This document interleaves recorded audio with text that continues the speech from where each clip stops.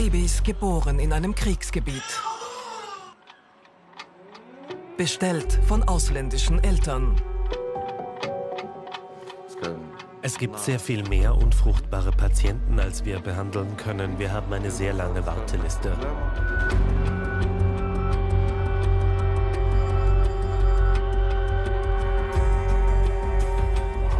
Hat der Kinderwunsch auch Grenzen?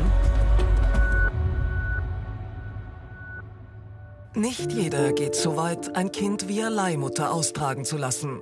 Viele versuchen in Kinderwunschkliniken Eltern zu werden. In Österreich hat jedes vierte Paar Probleme mit der Fruchtbarkeit. Man, man will das so, so sehr. Ja, diesen Moment erleben, dass da diese zwei Striche auftauchen. Ein unterschätztes Thema.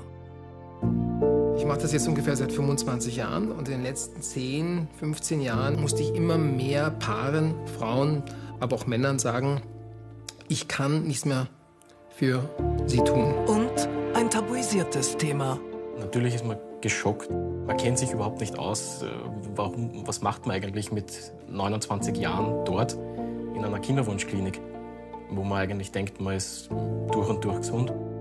Man fühlt sich einfach total schlecht, dass man selber daran schuld ist, dass man das nicht hinbekommt.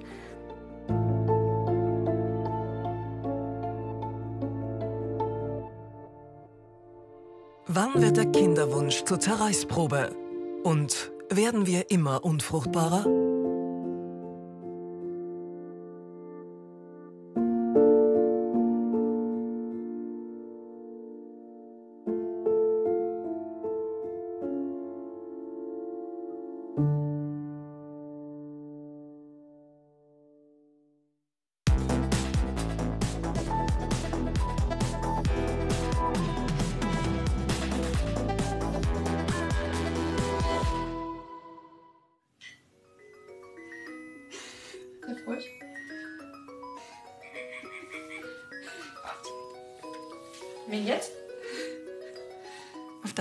Hingearbeitet.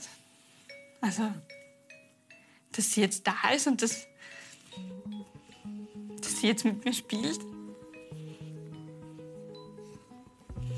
Dafür haben wir es gemacht. Es stellt sich nie wieder die Frage, ob ich Mama bin oder ob ich Mama werde. So, weil ich bin's ja.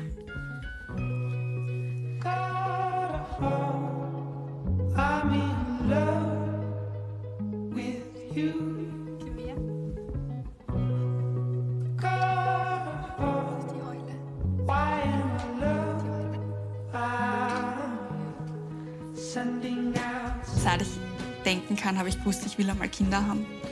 Und es hat eine Zeit gegeben, wo ich mir gedacht habe, nein, jetzt sicher nicht. Und es hat auch den passenden Partner nicht gegeben. Und für mich war auch klar, ich muss erst meine Sturm- und Drangphase ausleben und alles. Aber es war immer am Schirm, ich will mal Kinder haben.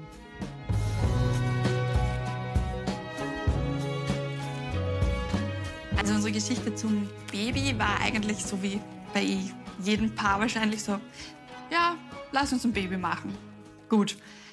Sollte der Plan werden, einfach lassen wir es drauf ankommen, schauen wir es uns an und dann werden wir irgendwann schwanger und dann sind wir komplett. Hm, netter Idee, aber das sollte leider nicht unser Weg werden.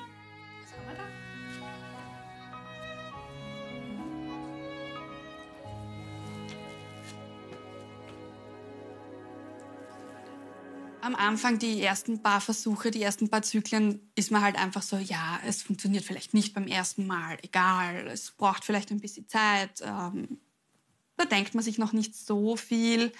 Aber so nach dem vierten, fünften Mal kam dann schon so dieses, warum ist da kein zweiter Strich? Ein Dreivierteljahr probieren Lela und ihr Mann ein Baby zu bekommen. Doch von Beginn an ist da dieses Bauchgefühl. Irgendetwas stimmt nicht. Man sieht eine Mama mit Baby, man sieht einen schwangeren Bauch und natürlich fällt es einem viel mehr auf, wenn man in der Situation ist, als wenn man einfach sagt, ja okay, da ist halt ein Kinderwagen. ne? Man wünscht sich einfach so sehr und es ist eigentlich Kinderwunsch ist überhaupt nicht das richtige Wort für diese Situation. Es ist ab einem gewissen Zeitpunkt so eine, eine tiefe Sehnsucht.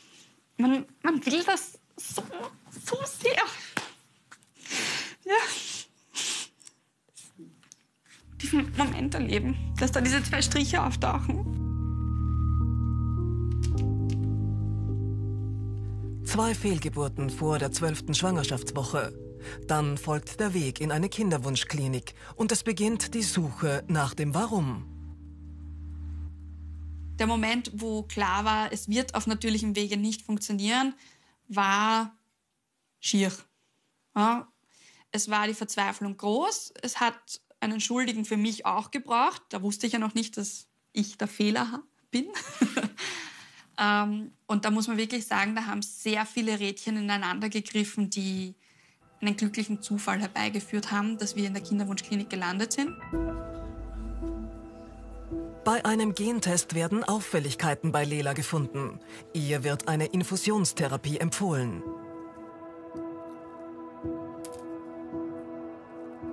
Lelas Mann möchte über den Kinderwunsch nicht vor der Kamera sprechen. Gemeinsam entscheiden sie sich aber für eine künstliche Befruchtung, auch IVF In-vitro-Fertilisation genannt.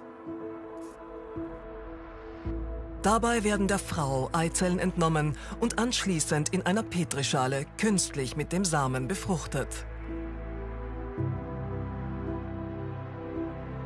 Die Zahlen in den Reproduktionskliniken steigen in den vergangenen Jahren konstant. Werden Männer wie Frauen immer unfruchtbarer? Nein, klare Aussage. Wir sind mit 25 genauso gut fruchtbar wie vor, weiß nicht, 50, 60, 70 Jahren. Es ist einfach nur der, das Alter, was sich geändert hat.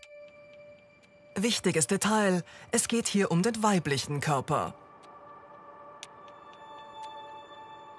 Man kann es auch unterbrechen, bei der Frau ist das Alter und beim Mann ist es vor allen Dingen der Lebensstil und die, und die Umwelt. Denn Tatsache ist, die Spermienqualität sinkt. Aber bleiben wir zuerst bei der Frau. Der Reproduktionsmediziner hat ein Vorsorgeprogramm ins Leben gerufen. Unter anderem wird die Qualität und Quantität der Eizellen bestimmt mittels Monitoring, Ultraschall und Blutabnahme. Auch Bella hat heute einen Termin für die Besprechung ihrer Befunde.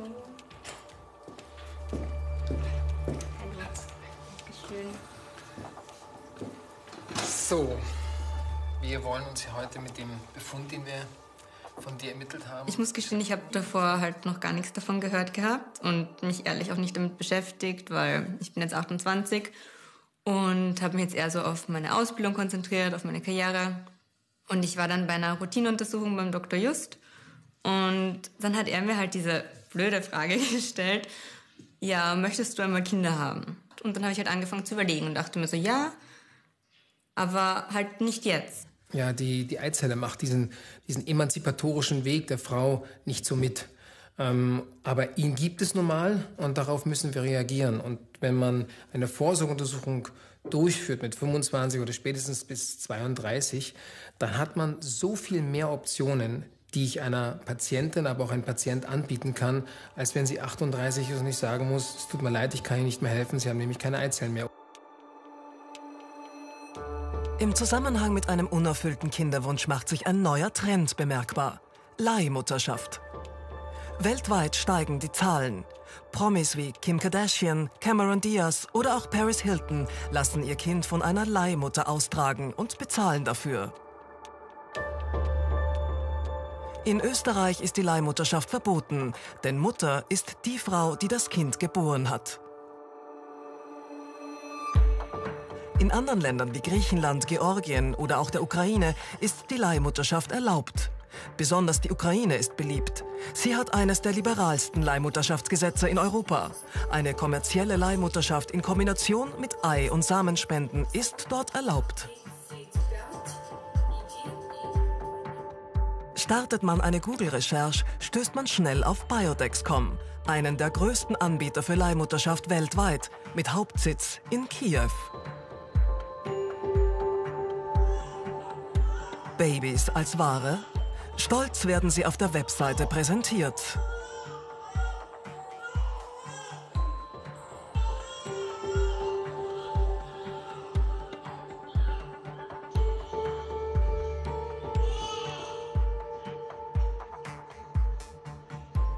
Ein Kind bestellt aus einem Kriegsgebiet. Eigentlich kaum zu glauben, denn in der Ukraine herrscht noch immer Krieg.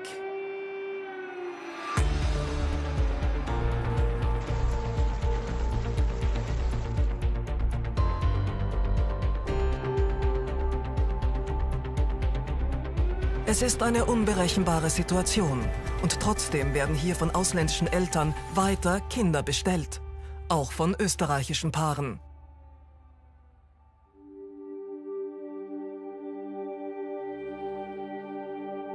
Seit 2009 befindet sich am Rande von Kiew die Klinik von Biotexcom.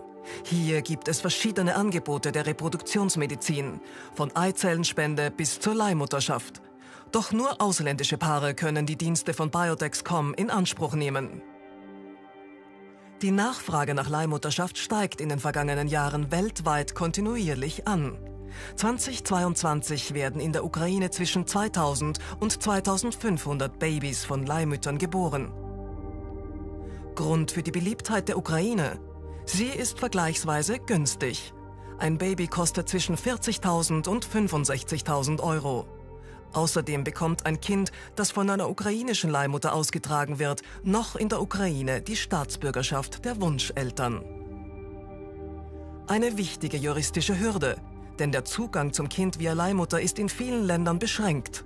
Für österreichische Paare bedeutet das, sie werden in Kiew als rechtliche Eltern in die Geburtsurkunde eingetragen und ihr Kind bekommt auf der österreichischen Botschaft in Kiew die österreichische Staatsbürgerschaft. Dies ist aber erst seit 2019 der Fall. Im Kriegsjahr 2022 haben ganze 30 Paare aus Österreich ihre Babys abgeholt.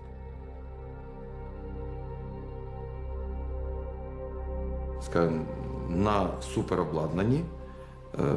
Тому, в принципі, єдина, скажімо так, проблема wir können die Nachfrage momentan gar nicht befriedigen, weil es so viele gibt, die am Leihmütterprogramm teilnehmen wollen. Es gibt sehr viel mehr unfruchtbare Patienten, als wir behandeln können. Wir haben eine sehr lange Warteliste.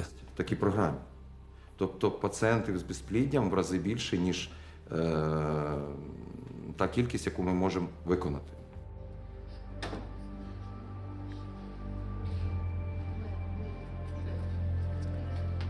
Die Anfragen steigen, trotz Krieg. Seit Beginn des Krieges wurden bei Biotexcom 600 Babys geboren. Підійшли в притул до столиці нашої, а ну скажімо так, вагітність це. Am schlimmsten waren die ersten Monate, als die russische Armee sehr nahe Richtung Kiew vorgerückt ist. Eine Schwangerschaft ist etwas, das man nicht aufschieben kann. Wir hatten jeden Tag Geburten und weil wir schweren Beschuss und ständigen Luftalarm hatten, wurden viele MitarbeiterInnen auch evakuiert. Nur ganz wenige MitarbeiterInnen sind geblieben, aber wir mussten uns trotzdem in gleichem Ausmaß um die Babys und Schwangeren kümmern. Vor dem Krieg hatten wir fünfmal mehr Angestellte. які виконували до війни ну, скажімо так, колектив в п'ять разів більше. Die Klinik steht auch immer wieder in der Kritik, die Leihmütter nicht fair zu behandeln.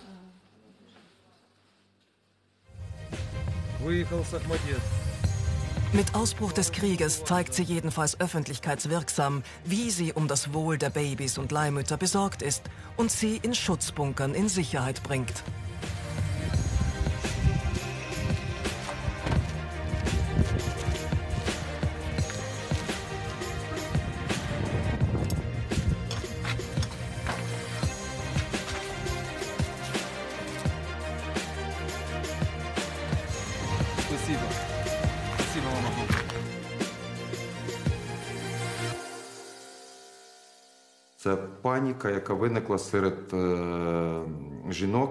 Eine weitere Challenge war die Panik unserer Leihmütter in den ersten Tagen des Krieges. Viele hatten Angst und wussten nicht, was sie tun sollten. Viele Schwangere waren in den Kampfzonen, viele von ihnen auch in den temporär von den Russen eingenommenen Gebieten.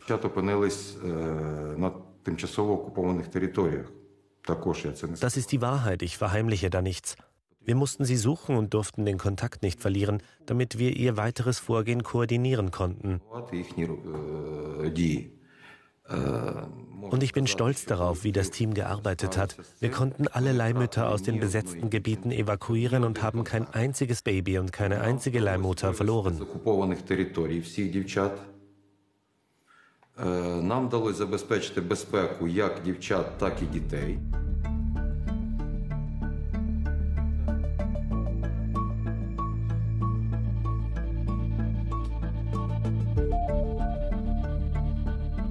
Leihmutterschaft ist ein komplexer, teurer Weg zu einem Kind und sicher der umstrittenste. Und das nicht erst seit Kriegsbeginn. Als Wunscheltern sind in der Ukraine nur heterosexuelle, verheiratete Paare erlaubt. Außerdem muss eine medizinische Bestätigung für die Unfruchtbarkeit der Frau vorliegen. Und der Vater muss mit dem Kind genetisch verwandt sein. Sonst gibt es wenig Einschränkungen kommen natürlich immer wieder in Kontakt mit Paaren, die das dann in Anspruch nehmen. Und ich glaube, der Hauptpunkt für uns ist einfach, dass man da als Arzt oder als Ärztin da schon ethisch an seine Grenzen stößt, ab wann vielleicht Schluss sein soll, was vor allem auch vielleicht das Alter betrifft oder die Ausgangssituation, ob es da nicht dann andere Möglichkeiten gibt, eine klassische Adoption oder so. Der Traum vom eigenen biologischen Kind kostet bei Biotexcom zwischen 40.000 und 65.000 Euro. Die Wunscheltern können aus verschiedenen Paketen wählen.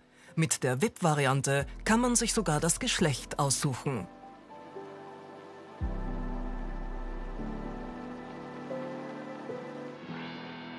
Gibt es eine Grenze für den Kinderwunsch?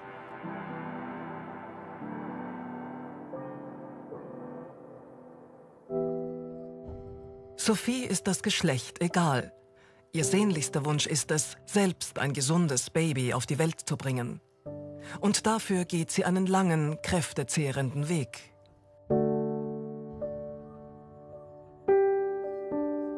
Ich bin seit 2007 mit meinem Mann zusammen und sehr glücklich. Ja, und die Jahre vergingen und irgendwie wir wurden älter und wollten unbedingt natürlich ein Kind haben. Mit 25 äh, habe ich dann beschlossen, dass wir das jetzt äh, starten, das Projekt. Und so wie wir es sich erhofft haben, hat es leider nicht funktioniert. Ähm, genau.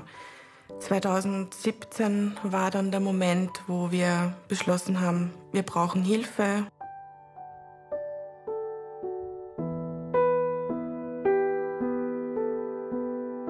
Unzählige Arztbesuche, unzählige gefahrene Kilometer, um eine Antwort auf die Frage zu finden, warum funktioniert es nicht? Warum passiert das nicht? Warum komm, bekomme ich keinen Eisprung? Bis wir dann erstmals draufgekommen sind nach vielen Tests, ähm, dass ich das polyzystische Ovariensyndrom habe, kurz PCOS. Und das Ganze gestaltet sich da einfach schwierig. Bis jetzt hat Sophie bereits zehn Versuche hinter sich. Zehnmal bekommt sie einen Embryo transferiert. Siebenmal wird sie schwanger, doch es klappt nicht. Sophie erleidet sieben Fehlgeburten.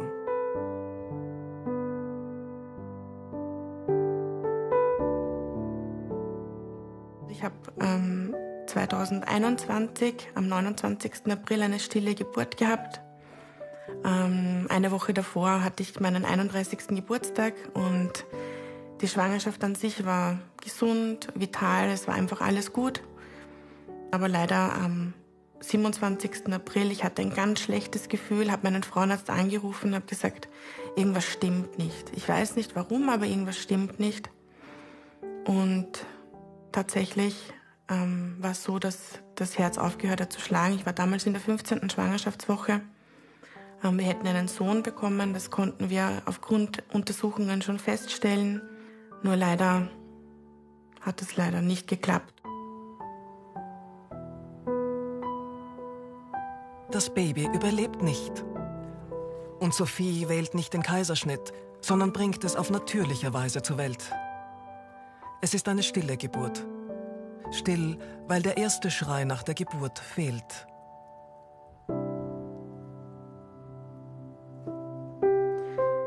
Ja, diese stille Geburt war eines der schlimmsten Dinge, die man erleben kann. weil man hat ja doch Vorfreude auf das, was kommt. 15. Schwangerschaftswoche, die zwölfte Woche geschafft ähm, und ich wollte es eigentlich der ganzen Welt rausposaunen. Ich habe es endlich geschafft. Wir bekommen ein Baby.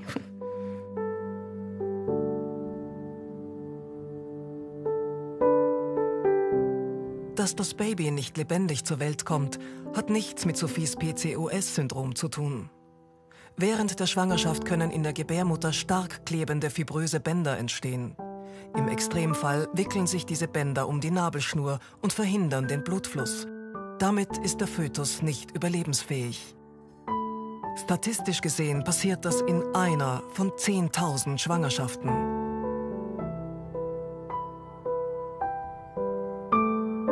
Wie das dann quasi das Kind dann da war, war für mich so der erste Moment, ich glaube, das war's jetzt. Ich glaube, das will ich nicht nochmal erleben. Also, was heißt, ich glaube, ich weiß, das will ich nicht nochmal erleben. Und ja, da habe ich mir zum ersten Mal gedacht, der Weg war steinig, aber jetzt ist es, jetzt ist es vorbei.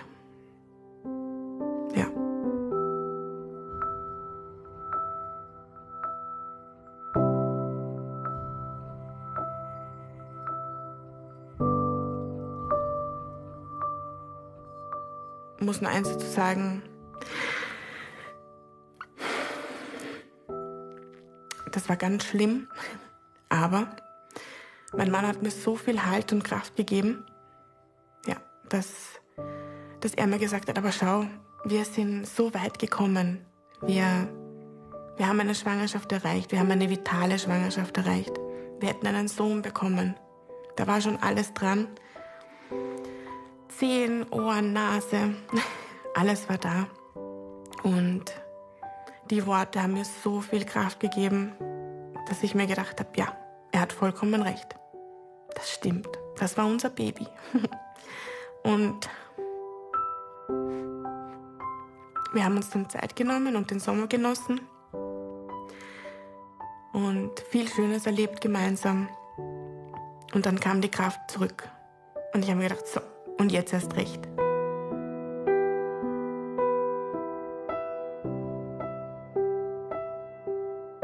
Sophie und ihr Mann beginnen mit dem elften Versuch. Noch einmal die tägliche Dosis an Tabletten, Hormonen, Nahrungsergänzungsmitteln. Ich bereite quasi die Spritzen vor, die ich mir täglich verabreichen muss im Kinderwunsch, wenn ich eben in einem Versuch bin. Und ja, das ist so das, was ich täglich spritzen muss, um den Erhalt der Schwangerschaft zu erreichen. Ich habe einen Behandlungsplan von meiner Immunologin und von der Kinderwunschklinik bekommen. Da steht genau drauf, was ich täglich brauche, was ich nur jeden zweiten Tag brauche. Ja, das ist richtig viel und das ist auch nicht die normale Kinderwunschbehandlung, sage ich jetzt mal, sondern das geht schon ein bisschen darüber hinaus. Aber ja, auch das nimmt man in, den Ka in Kauf, weil man halt sein Ziel erreichen möchte. Und es gibt so viele Möglichkeiten, Gott sei Dank, aber irgendwo muss man auch ein gutes äh, Ding finden, dass man nicht zu viel und auch nicht zu wenig macht. Ja.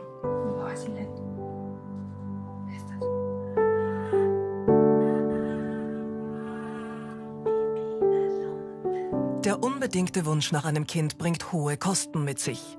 Lela und ihr Mann haben für ihre erste Schwangerschaft 13.000 Euro ausgegeben. Zahlreiche Untersuchungen, Medikamente und Spritzen waren nötig für das kleine Wunder. Nicht alles wird vom staatlichen IVF-Fonds bezahlt. Dieser unterstützt finanziell bei einer Behandlung in einer Kinderwunschklinik. Allerdings nur unter bestimmten Voraussetzungen und nur vier Versuche.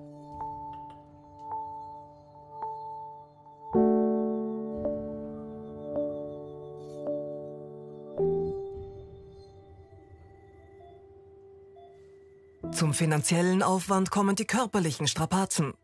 Die Hormone stimulieren die Reifung der Eizellen und lösen den Eisprung aus, mit Nebenwirkungen wie Gewichtszunahme und Stimmungsschwankungen. Man kann sich überhaupt nicht vorstellen. Am Anfang schluckt man ein paar Pillen hier, ein paar Pillen da, man stimuliert dort, man probiert jenes aus, aber es sind Hormone. Es sind einfach Wirkstoffe, die was mit deinem Körper machen.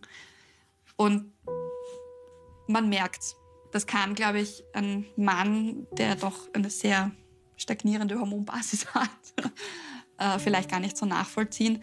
Bei uns hat es schon immer wieder mal ordentlich gefetzt.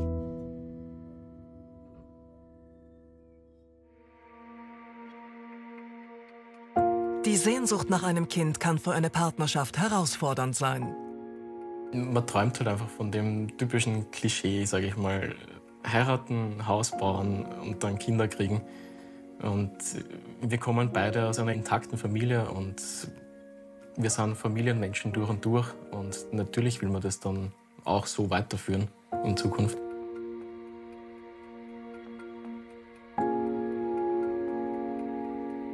Leonie und Stefan haben sich als Paar bereit erklärt, über ihren Weg zu sprechen. Sie möchten aber unerkannt bleiben, da beide für ihren Beruf in der Öffentlichkeit stehen. Als sie erstmals versuchen, ein Kind zu bekommen, passiert während der ersten Monate nichts. Leonie und Stefan sind da beide noch unter 30. Natürlich macht man sich Gedanken, warum es nicht funktioniert und man, man, sucht dann nach Gründen und das Erste, was man macht, ist, dass man das Handy in die Hand nimmt und beginnt zu googeln.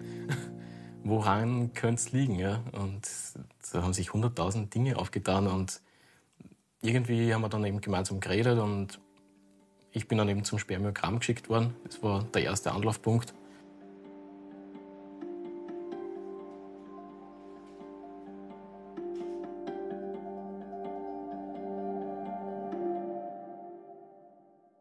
Viele Männer wissen ja gar nicht, dass die Ursache fast 40 bis zu 50 Prozent auch auf der männlichen Seite liegt. Jeder glaubt, er ist der große Stier. Ja?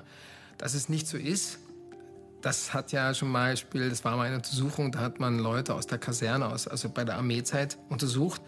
200 Leute sind ungefähr fünf übrig geblieben, die sich geeignet hätten, Samenzellen einzufrieren. Fünf. Ich meine, das ist ja Wahnsinn.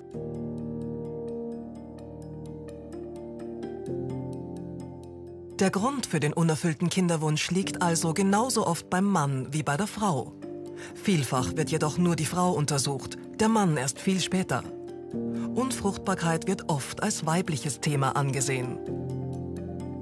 Es ist nach wie vor natürlich der Kinderwunsch und im Speziellen natürlich auch der männliche Part im Kinderwunsch nach wie vor ein Tabuthema. Ich betreue schon äh, sehr, sehr lange Kinderwunschpaare und es hat sich Gott sei Dank stark verändert. Die meisten Männer sind bereit, eben gleichzeitig eine Untersuchung zu machen, weil die Untersuchung bei den Männern relativ einfach ja ist. Man hat ja relativ rasch dann ein, ein Spermiogramm, einen Samenbefund. Wobei man sieht natürlich bei den, bei den Männern sehr oft, dass sie sehr traurig sind, wenn sie dann erfahren, dass die Samenqualität eingeschränkt ist, wenig drüber sprechen wollen, auch eigentlich relativ wenig mit dem Arzt drüber reden wollen und schon gar nicht äh, mit den Freunden und Verwandten. Auch in der Recherche zu diesem Film macht sich dies bemerkbar. Kein Mann möchte öffentlich über den Kinderwunsch und eine mögliche Unfruchtbarkeit sprechen. Online findet man kaum Selbsthilfegruppen oder einen Austausch Betroffener. Stefan ist einer der wenigen, der sich dazu bereit erklärt, seine Geschichte zu erzählen. Denn sein Spermiogramm zeigt zunächst kein gutes Bild. Ja, natürlich ist man geschockt am Anfang oder man kennt sich überhaupt nicht aus. Äh, warum, was macht man eigentlich mit 29 Jahren dort in einer Kinderwunschklinik, wo man eigentlich denkt, man ist durch und durch gesund. Und beim Spermiogramm ist eben dann rausgekommen, dass äh, die Bewegungs- oder die, die Spermien irgendwie von der Bewegung her eingeschränkt sind. Und man versteht das eigentlich von Beginn an nicht, weil man ernährt sich einerseits gesund, ich rauche nicht, ich trinke wenig Alkohol und irgendwie habe ich mir das nicht erklären können. Ja.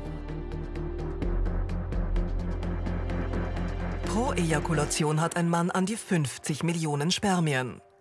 Bei einem schlechten Spermiogramm sind die Menge, Bewegung und das Aussehen der Samen nicht zufriedenstellend. Man sieht hier sehr eindeutig, dass eben die Dichte der Samenfäden doch deutlich reduziert ist dass auch viele Samenfäden nur am Ort herumliegen, äh, sich nicht vorwärts bewegen und ähm, auch teilweise die, die Morphologie des Aussehen, nämlich ein Samenfaden besteht aus einem Kopfanteil, einem Mittelstück und einem Schwanz äh, dass äh, eben Deformierungen vorhanden sind, dass vielleicht zwei Köpfe da sind, dass der Schwanz fehlt, äh, der Schwanz zu kurz ist und diese Parameter werden von unseren Biologen, Biologinnen im Labor eben beurteilt. In den vergangenen 40 Jahren hat sich die Samenqualität der westlichen Männer um ungefähr 50 Prozent reduziert. Die Forschung zu den Ursachen ist allerdings oft noch unzureichend.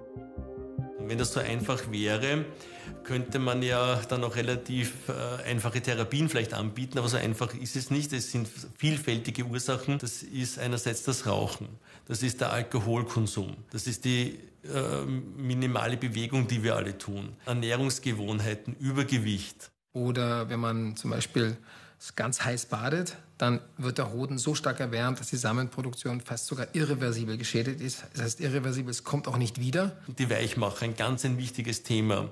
Konservierungsstoffe, Weichmacher finden Sie äh, im Boden belegen, in dem Kugelschreiber, den ich angreife, äh, auf vielen Gummiteilen im Auto. Bei den Kindern fängt das ja schon an bei dem Spielzeug.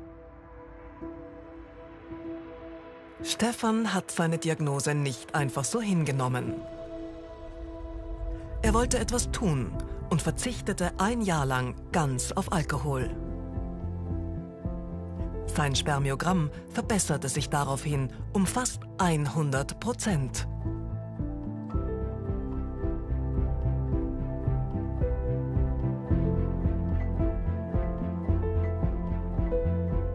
diesem Video ist wirklich äh, nicht äh, schwer zu erkennen, dass ein normales oder fast normales Spermogramm eigentlich vorliegt. Wir haben eine entsprechende Dichte.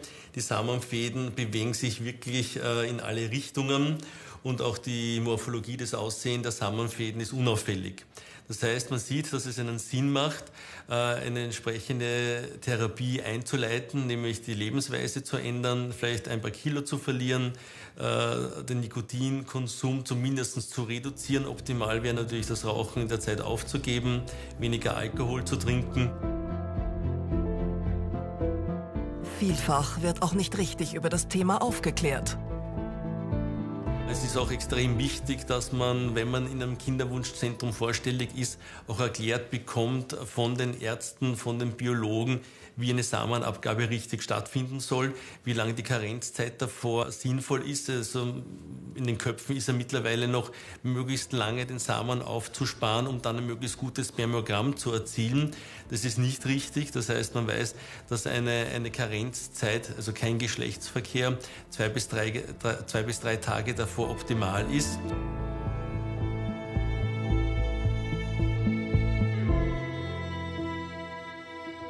Trotz dem verbesserten Spermiogramm von Stefan funktioniert es nicht.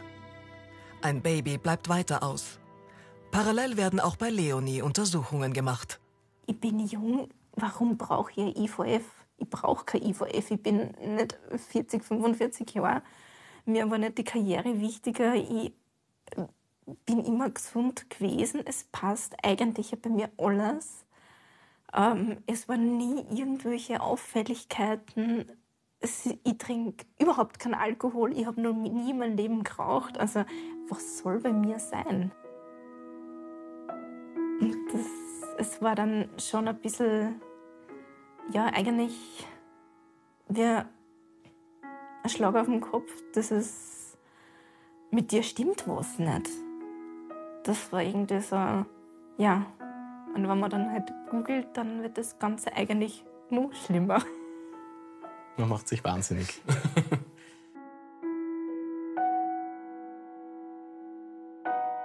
Ein unerfüllter Kinderwunsch schmerzt. Vielen im Umfeld ist nicht bewusst, was der stetige Wechsel zwischen Hoffnung und Enttäuschung auslöst und wie sehr dieser auch psychisch belastend ist. Diese Sehnsucht nach einem Kind, die die kann man, glaube ich, erst wirklich nachvollziehen, wenn man in der Situation ist. Dieser Prozess, alle rund um mich werden schwanger, ich bleibe über.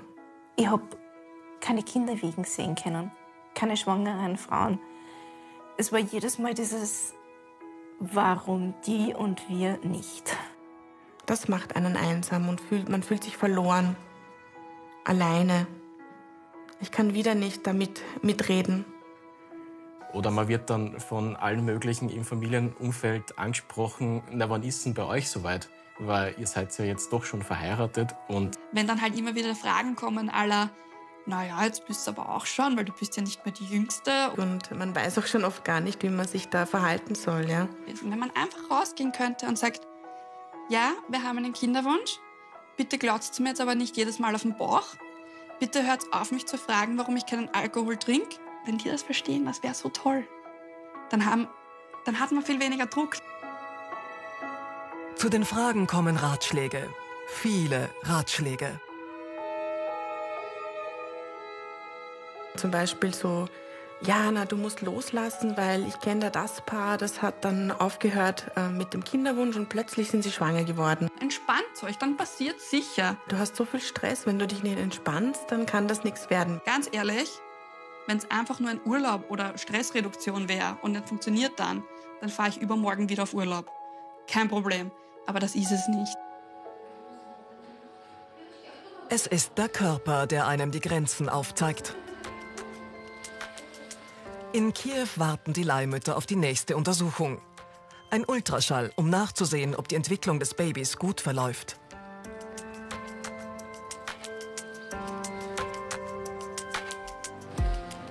Olena hat bereits einen zwölfjährigen Sohn.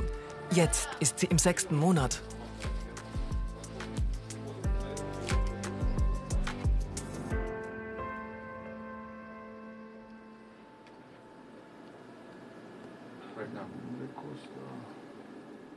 Es ist ein Mädchen. Ah, sie dreht sich weg. Mädchen neigen dazu, sich beim Ultraschall mehr zu verstecken.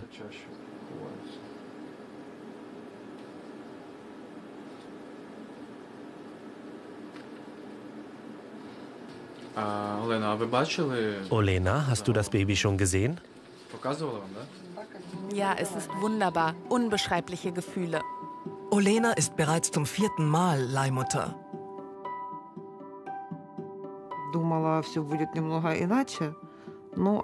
Bei der ersten Schwangerschaft war ich mental nicht darauf vorbereitet. Ich dachte, alles würde ein bisschen anders sein. Bei den weiteren Schwangerschaften hatte ich Kontakt mit den Wunscheltern. Das war dann viel leichter für mich, weil ich wusste, was für Menschen sie sind. Как бы я понимаю, что это не мой ребенок, но мне было проще так.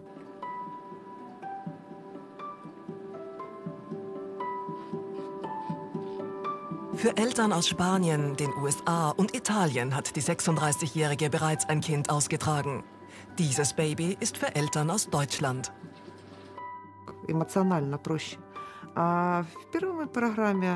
Wenn der Kontakt zu den Eltern schon während der Schwangerschaft besteht, ist es für mich emotional viel leichter, auch wenn ich weiß, dass das nicht mein Kind ist.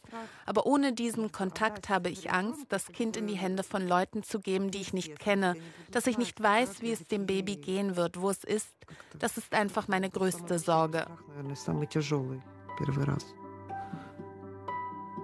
Ну, со временем эмоционально это все переросла, как бы, и слава богу. Die Entscheidung, ob eine Kommunikation mit der Leihmutter stattfindet oder nicht, kann nur aktiv von den Wunscheltern kommen.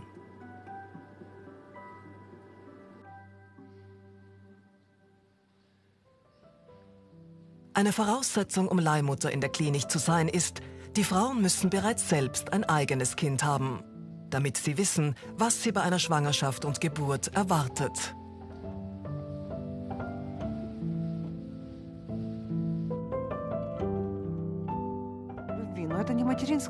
Natürlich spreche ich mit dem Baby. Es ist eine Form von Liebe, aber keine Mutterliebe.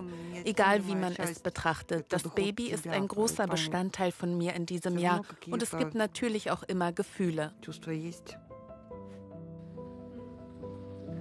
Bezahlen Wunscheltern zwischen 40.000 und 65.000 Euro für ihr Kind, geht der Großteil dieser Einnahmen an die Klinik.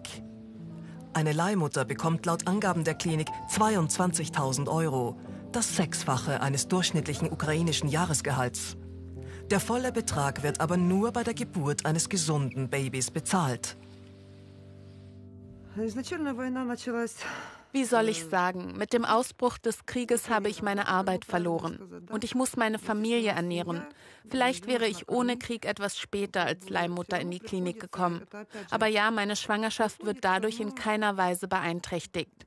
Ich versuche einen stabilen emotionalen Zustand aufrechtzuerhalten, denn es gibt keinen anderen Weg. Wir versuchen stark zu bleiben. Religiöse Menschen sagen, dass ich eine Sünde begehe. Andere sagen, dass ich die Babys verkaufe. Das stimmt aber nicht. Das Geld ist eine Entschädigung für die Zeit und alles, was damit einhergeht. Ich sehe es so. Manche Paare versuchen seit Jahren ein Kind zu bekommen und schaffen es nicht. Und ich mache sie mit dem Kind sehr glücklich.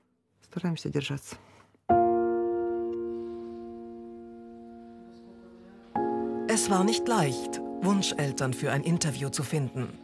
Niemand wollte öffentlich darüber sprechen. Eine Wunschmutter aus Italien, die gerade vor Ort auf ihr Baby wartet, gibt uns dann doch ein Interview. Sie möchte aber unerkannt bleiben. Die Gefühle sind sehr durcheinander. Zuerst findet man heraus, dass man nur eine halbe Frau ist, weil man keine Kinder bekommen kann. Und dann lernt man jemanden kennen, mit dem man eine Familie gründen möchte aber du hast dieses Problem. Es geht nicht. Nel tuo paese te lo, te lo proibiscono. E lì ancora ci sono delle emozioni forti, c'è rabbia. Dann wird man wütend und dann bekommt man die Chance, in neun Monaten ein Baby zu bekommen und eine klassische Familie zu gründen. Das sind dann unglaublich starke Emotionen. Sono emozioni molto molto forti. Zu Hause ist bereits alles für das Kind vorbereitet. Seit fünf Jahren wartet das Paar auf eine Adoptionsmöglichkeit in Italien. Doch nichts passiert. Also wählen sie den Weg der Leihmutterschaft und wählen auch aufgrund der vergleichsweise niedrigen Kosten die Klinik in der Ukraine, trotz Krieges. Denn in den USA kostet eine Leihmutterschaft ab 100.000 Dollar aufwärts. Natürlich, der Krieg ist beängstigend, aber ich stehe in ständigem Austausch mit der Leihmutter. Sie versichert mir, dass es in ihrer Stadt keine Kampfhandlungen gibt, dass alles in Ordnung ist und sie und ihre Kinder in Sicherheit sind und es keinen Grund gibt, das Land zu verlassen.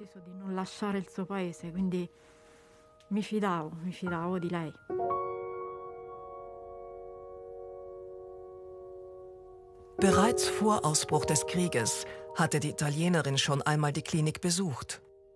Doch beim ersten Versuch hat die ukrainische Leihmutter eine Fehlgeburt.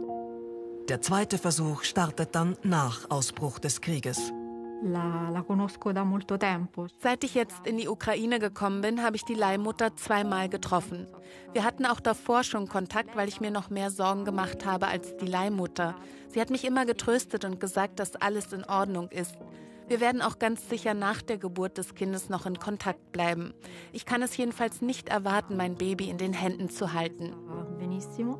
E sono felicissima e continuiamo a sentirci.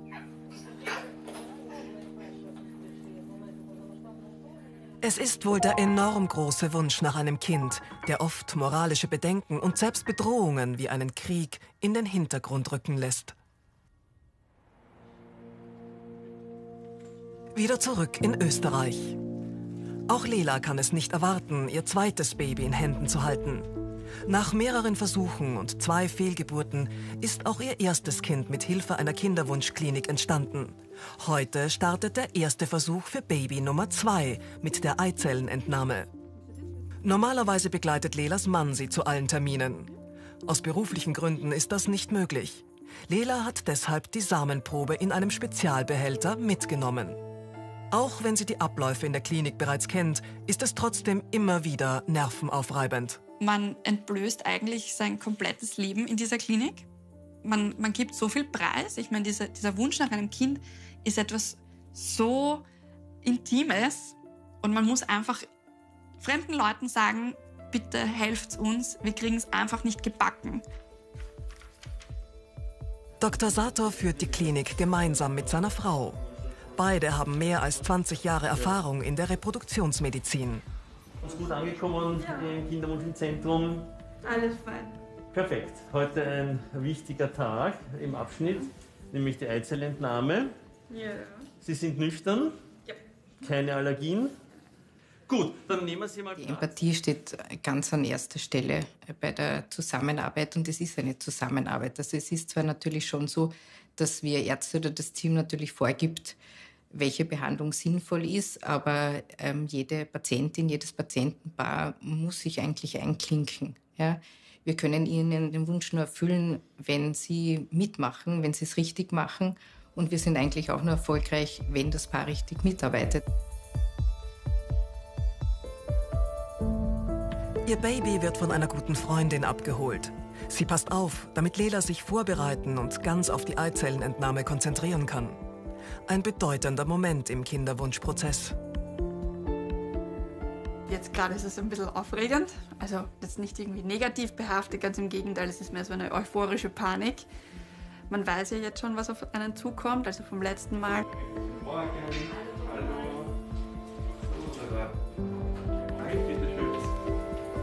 Es ist der Moment der Wahrheit. Denn jetzt wird sich zeigen, ob die Stimulation mit Spritzen und Tabletten gewirkt hat und sich genügend Eizellen gebildet haben. Nicht zu, das war wunderbar. Gut. Das heißt, ich hole dich dann und in ein paar Minuten starten wir. Ja, super. Bis Danke. gleich. Gerne. Es geht einem alles und nichts durch den Kopf. Wir wissen ja vom Ultraschall, dass was da ist. Jetzt hoffen wir halt einfach auch nur, dass in jedem Follikel ein Ei drin ist und die auch reif sind und die sich befruchten lassen. Und ja, das große Zittern geht dann, glaube ich, erst los, wenn, wenn ich auch wieder nach der kleinen Narkose wieder voll da bin und zum Hören, wie viel haben wir und wie schaut es aus.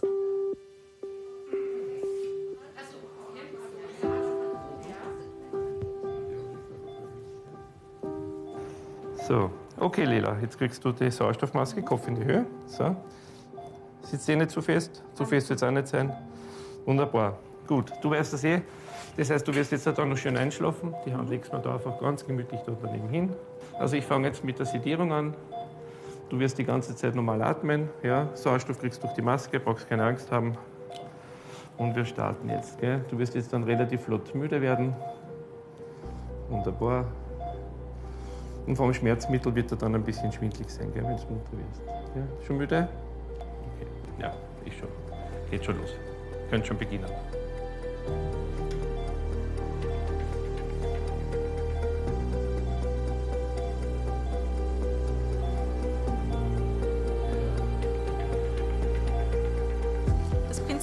Eizellentnahme ist dem Prinzip einer Blutabnahme sehr ähnlich. Äh, Wir stechen mit einer sehr, sehr dünnen Hohlnadel direkt durch die Scheide, Ultraschall gezielt in die Eibläschen, in den Eierstock und saugen die darin enthaltene Flüssigkeit ab. Die Flüssigkeit gelangt dann sofort mittels einem Schlauchsystem in Laborröhrchen und die Flüssigkeit wird dann sofort im Anschluss von unseren Biologinnen begutachtet unter mit dem Mikroskop und nach Eizellen abgesucht. Idealerweise versucht man mit einem Stich möglichst viele Eibläschen hintereinander aufzufädeln. Ein Eingriff dauert circa vier bis fünf Minuten. Für die Ärztin ein Routineeingriff. In der Regel werden pro Eingriff fünf bis 15 Eibläschen abgesaugt. Für Lela heißt es jetzt langsam wieder aufwachen. Hallo. Hallo. Und wie geht's? Alles gut. Hast du gut geschlafen? Wunderbar. Super. Was Schönes geträumt? Super. Perfekt, super. Ist da schlecht oder irgendwas? Alles fein. Schwindlig? Nix. Perfekt, super. Ich komme dann später noch mit Blutdruckmesser vorbei und wenn es dir gut geht, dann ich übergebe jetzt einmal die Hermine zum Abschlussgespräch und kannst noch eine halbe Stunde da liegen bleiben und ja, dann komme ich nochmal vorbei. Gell? Alles Danke, Liebe. Gerne, gerne. Eingriff ist sehr gut verlaufen. Wir haben insgesamt zehn Eizellen gewonnen. Äh, Eine sehr schöne Anzahl. Äh, Die werden heute Nachmittag versucht zu befruchten. Und morgen kriegen Sie eine telefonische Info vom Labor, wie viele Eizellen befruchtet sind. Und ansonsten äh, sehen wir uns an Tag 5 zum Einsetzen vom Embryo. Haben Sie noch irgendwelche Fragen? Nein, alles klar soweit. Perfekt, wunderbar. 10 ist eine unfassbar gute Zahl. Wir haben beim ersten Versuch drei gehabt. Also es ist wirklich super. Und jetzt ist, ist es nicht in meiner Hand. Ähm, wir können nur warten und schauen, was passiert. Sie sind hier ein super Team, also was soll sein. Aber jetzt ist halt echt so, ach, jetzt, jetzt muss man sich ablenken.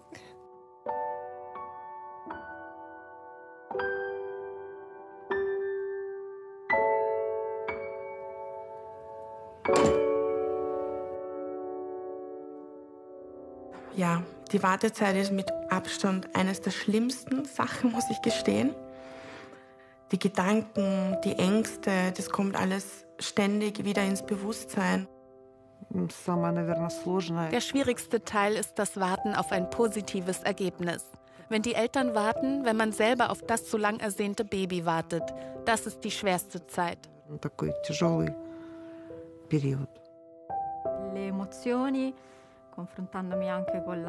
Ich habe die gleichen Gefühle wie eine Leihmutter. Auf der einen Seite habe ich Angst, weil ich mir Sorgen mache, ob bei der Geburt alles gut gehen wird. Auf der anderen Seite ist es pure Freude, weil es mein erstes Kind ist.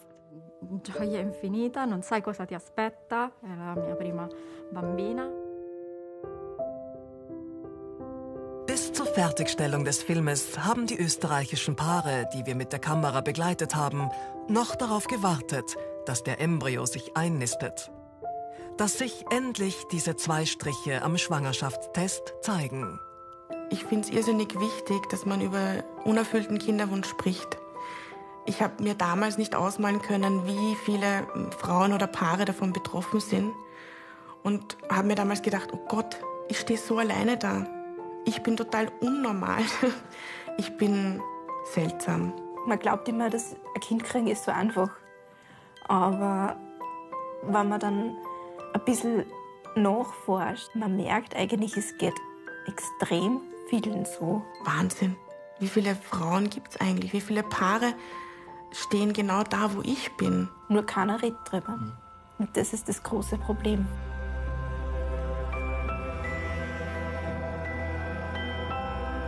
Die Kinderwunschklinik-Paare, man erkennt sie auf der Straße nicht. Du hast nicht ein Brandmal auf der Stirn, wo drauf steht Kinderwunschklinik. Äh, du bist einer von vielen. Und wer das ist, das kann deine Nachbarin sein, die es dir vielleicht nicht erzählt. Es kann eine Arbeitskollegin sein, die halt öfters im Krankenstand ist. Man sieht es den Leuten nicht an.